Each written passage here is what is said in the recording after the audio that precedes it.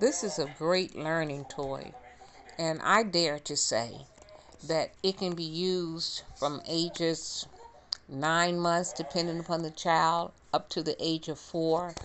And I, I, say that because, you know, sometimes it takes a child a little longer to learn how to zip or to snap.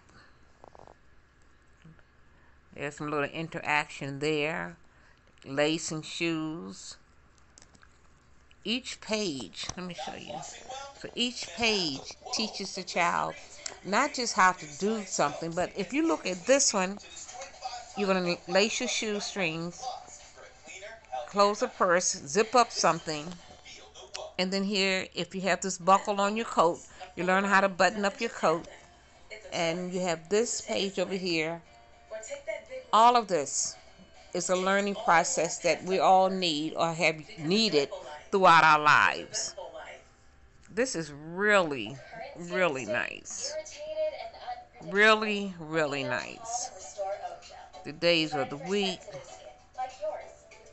clock, the rotation of the hands, a lot of information here, a lot of conversation can be held with the kid. I love this. This is um, felted uh, Velcro on, so you know it'll come apart. Mm-hmm. Your pants, button your shirt, everything that you need to know growing up.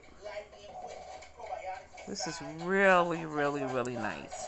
So some children develop much earlier than others.